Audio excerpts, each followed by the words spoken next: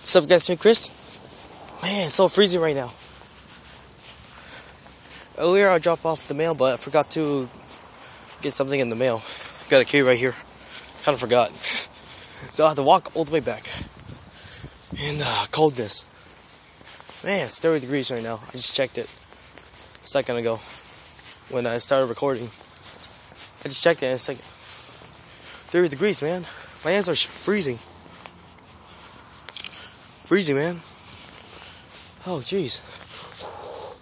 I even, when I blow, I can see that, I don't know, the thing come out from the mouth. I got a cover, guys. It shows the location.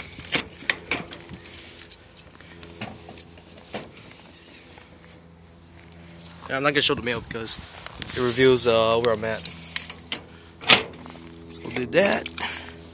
Got the mail. It's in my arm. Not gonna show it. Oh man, it's freezing, guys. Now I have to walk all the way back. I don't want to get sick again. I hope not, because I just recovered. I rest a lot, eight hours a day.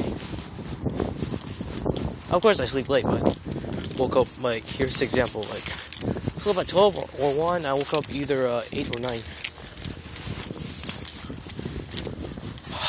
okay, I'm gonna go inside. I'm like freezing right now. I'm like I don't want to get sick again.